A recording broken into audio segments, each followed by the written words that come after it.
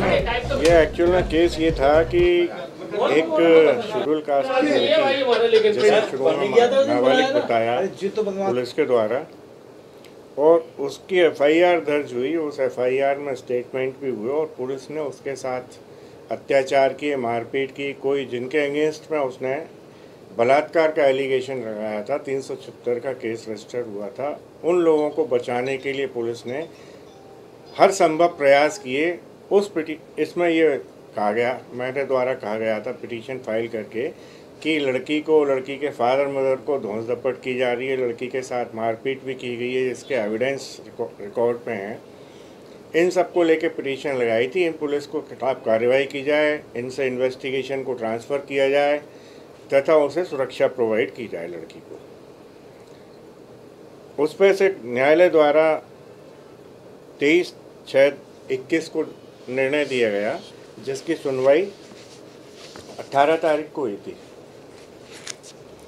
और निर्णय में न्यायालय द्वारा हर पॉइंट को डिस्कस किया गया। सुनवाई के वक्त न्यायालय द्वारा जो एसपी ग्वालियर हैं, मिस्टर अमित सांगी जी, उनको भी वीडियो कॉन्फ्रेंसिंग के ज़रिए ज्वाइन करने का आदेश दिया था तो वो भी मौजूद थे उस समय।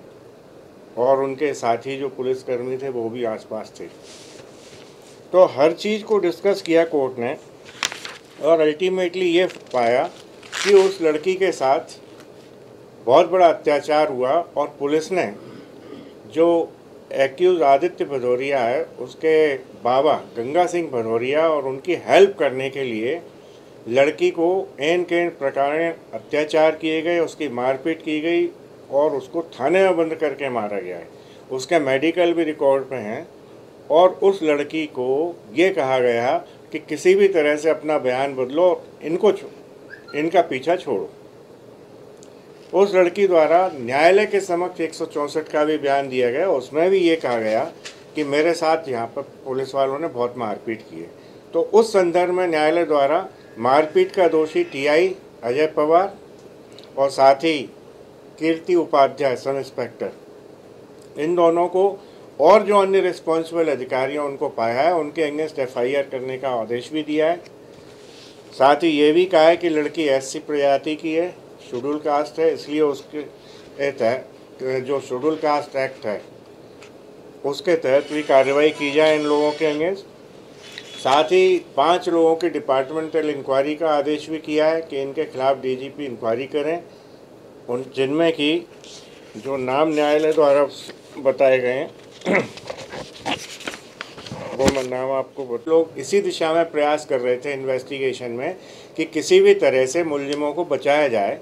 तो इस कारण से न्यायालय ने ये कहा कि हम अब इस पर भरोसा नहीं कर सकते पुलिस की व्यवस्था पे और पुलिस की इन्वेस्टिगेटिंग एजेंसी पे। इसलिए हम इस पूरे के पूरे मामले को सीबीआई के सुपुर्द करते हैं। इसमें सीबीआई जाँच करेगी और सारे के सारी जितनी वो चीज़ें हैं केस डायरी रोज नामचा जो भी एविडेंस अभी तक पुलिस के पास है वो सब हैंड ओवर करने का आदेश कर दिया कि सीबीआई के सुपुर्द कर दिया जाए। पचास हज़ार रुपये की कॉस्ट लगाई है और ये कहा है कि लड़की इनसे कंपनसेशन की मांग कर सकती है उसके लिए अलहदा से केस प्रकरण प्रस्तुत भी कर सकती है। ये पचास हज़ार रुपये तुरंत लड़की को दिलाए जाए। आप फ्री में लड़े इस केस को क्या इसके पीछे क्या लॉजिक था? मेरा लॉजिक ये था उसके पिता मेरे पास आए थे बहुत गरीब हैं पास में ही ग्वालियर के गाँव में रहते हैं और काफ़ी उनने रोए पीटे वो मेरे पास। पहले मैंने इस केस में एक हैवियस कॉर्पस लगाई क्योंकि इनने लड़की को लड़की के माता पिता को बंद करके रखा थाने में और किसी को भी नहीं छोड़ा और लड़की जैसे ही बयान दे के आई है एक का कोर्ट से तो उसको बिना किसी आदेश के इनने वन स्टॉप सेंटर भेज दिया। वन स्टॉप सेंटर को भेजने की इनका कोई अधिकारिता नहीं थी, न पात्रता थी। साथ ही इनने जब वन स्टॉप सेंटर गई वो तो मैंने किस, उनके किसी रिश्तेदार के नाम से एक हैवियस कॉर्पस के पिटीशन न्यायालय में लगाई। उसमें यह आदेश हुआ, क्योंकि वो लड़की को कॉन्फ्रेंस पर ज्वाइन कराया था कोर्ट ने, मेरे रिक्वेस्ट पर उस लड़की ने कहा, मैं तो अपने घर पर माता पिता के साथ रहना चाहती हूँ, ये जबरन यहाँ बंद करके गए मुझे।